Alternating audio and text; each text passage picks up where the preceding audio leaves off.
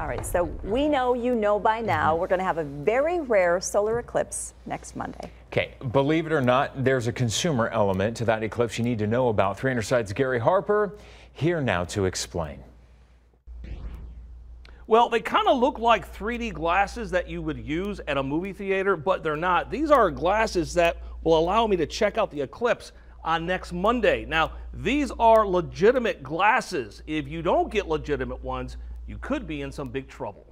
As you can see, that yellow band that goes all across the United States is the path of totality. Stephen Kates has been involved in astronomy for three decades and is known in the Valley as Dr. Sky. So, 3 on your side wanted to get his thoughts on the upcoming eclipse. So many people may be getting the wrong information, even at this late hour.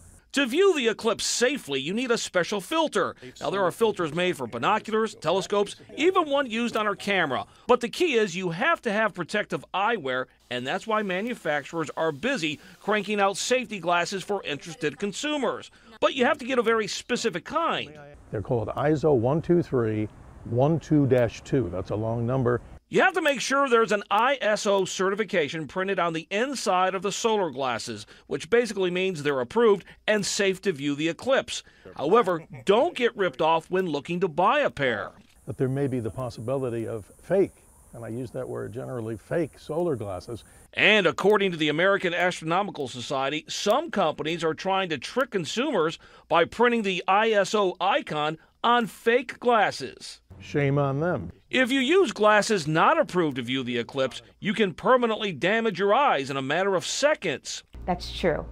Yeah, so even just a casual glance or an if you're wearing the solar eclipse glasses but they accidentally fall off, even that can be really damaging.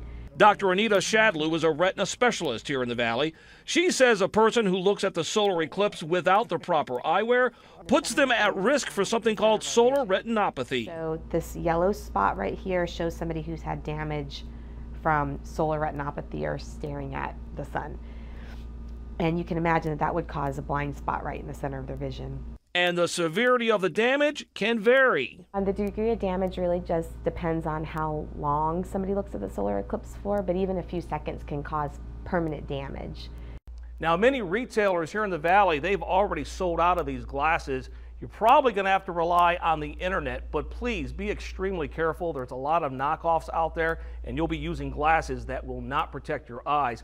For a list of all the authorized vendors and all the authorized glasses, just go to our website, azfamily.com, and look for this story.